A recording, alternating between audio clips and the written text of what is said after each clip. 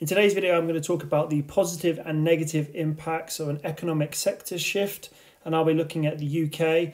This is because you need to know a named developed country example uh, for the IGCSE Edexcel spec in the economic activity and energy section, which I've highlighted here. So, a brief background the UK uh, was one of the first industrial countries um, because it had an uh, industrial revolution, which started um, to, to really kick in after about 1770. Uh, by the time we get to the 1950s, um, industry is well established and employs about 30% of the workforce, so it's very, very important. However, by the 1970s, uh, we start to see a sector shift. Um, what we start to see is secondary employment in industry declines and services start to increase. To the process I'll talk about are deindustrialization, that is the loss of industry from an area or country, and tertiarization, which is the increase in services um, in an area or country. So we can see uh, as one goes down, the other goes up, and this is the, the shift uh, in the uh, amount of people employed in one area um, going to another. So one of the reasons why uh, we have a loss of uh, industry, deindustrialization, is because lots of our industry goes abroad. So we have the global shift in manufacturing where industry from places like the UK, but also Germany and the USA, ends up moving to emerging countries in Asia, uh, Central and South America because it's cheaper to, to do it there. The technology means that they can transport it from these areas to other parts of the world but labour costs are cheaper, but also we have lots of raw materials that are better. So we see the fact that industry gets lost from places like the UK. When the industry gets lost from places in the UK, we get social and economic impacts that are negative. Uh, and these happen specifically in industrial areas where there used to be uh, the industry jobs. So the obvious one is that we get high levels of unemployment, so people lose their jobs in industrial towns we also get the people that are skilled can actually leave that area and go to other areas to get jobs. Where, however, the people that are low skilled or semi skilled are often left behind because they don't have the resources or the skills to be able to move away. And we call this process the brain drain. As people start to lose their jobs, they therefore have less money, disposable money to, to spend, and therefore they don't have the money to go and spend it on services or leisure and entertainment.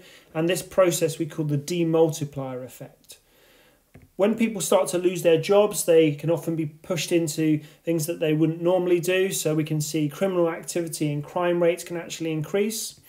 And one thing that was very specific to the UK is um, in some of these industrial towns, lots of the leisure facilities and entertainment were actually linked to the industry. So there's examples of things like brass bands, which were connected to the um, factories and mining communities um, which they were based. Same with sports clubs. And when that mining and when that kind of industry shut down, when the factory shut down, those facilities also shut down.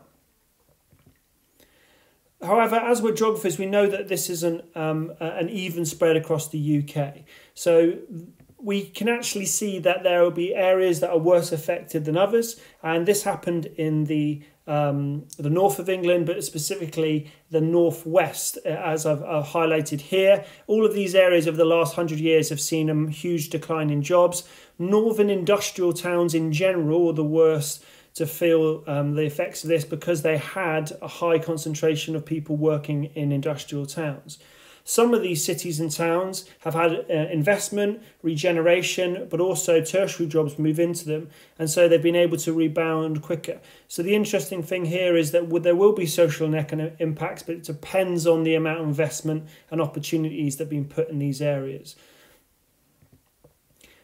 Even within towns, we can see huge divides between the industrial areas and non industrial areas. Here's an example of Sheffield, which was famous for steel um, making. And what we see is in the industrial sector, which is on the east of the city, that is still much poorer today than the non industrial west, which is that area that is highlighted in blue. So we can see not only these social economic impacts done on a national scale, where the north and lots of the industrial towns are worse off than places in the south often, but also within cities, um, sometimes between industrial and non industrial areas. An environment impact that's quite clear we can see here is when the factories got abandoned, they were left derelict. That land is therefore left unused. It's very heavily polluted. Some of those that, that kind of the irons and ores from the the factory can get into the ground and make it really hard to be reused. That means it's expensive to to have to clean up. Um, but also, we can sometimes find these areas being uh, used for criminal activity, things like drug dealing, because no one wants to go in them because they've been abandoned, so they can cause more social problems afterwards. However, now I'm going to look at some of the positive effects that have come from this shift away from industry and towards um, the tertiary sector. So we can see here that in um, Sheffield, the, the, the sky was full of smog, and one of the most obvious um, positive factors is air pollution in these former industrial towns and cities has gone down because I don't have factories spewing out pollution into the air. Similarly, Places like Birmingham and other cities which had canals, they used to have a lot of the industrial waste just dumped into them, um, but they now um, don't have that happening anymore. So rivers and canals are a lot cleaner, and in some areas they actually incorporate them into the regeneration schemes. So we can see here, here's a split picture of what it used to look like, and now they've kind of converted that into a uh, canal side restaurant.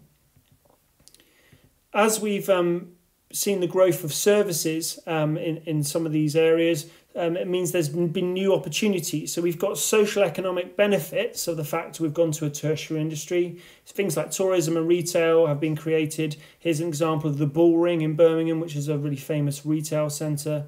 Um, places like Birmingham, Liverpool, Manchester, Sheffield, and Glasgow have all seen growth in tourism and retail um, since the decline of industry. Has been due to the fact that these areas have had a lot of investment from the government um, and various organisations. The, similarly, because of that, um, because some of the, the, investment and regeneration, some of these cities that you had huge decline have actually been able to attract major international events. Birmingham Commonwealth Games, the most recently, but also Glasgow and Manchester have had the same event. And this brings in tourists to the area, which brings more money, which makes the city able to rebound um, and brings jobs and opportunities to local people. If we look at the UK in terms of since um, the kind of 1970s, um, we've actually seen the fact that GDP per capita, so the amount of money that people have um, per person, has actually gone up. This is because services are actually worth more to the, the economy than secondary and primary jobs. So as we've shifted towards services, what we've actually found out is that that means people individually are wealthier. Um, the country is wealthier, but individual people are actually wealthier as well. So we can see this shift from de- from the deindustrialization, the loss of industry, to the rise in services. There is both positive and negative impacts of that, uh, and some of those can be concentrated in some areas rather than others.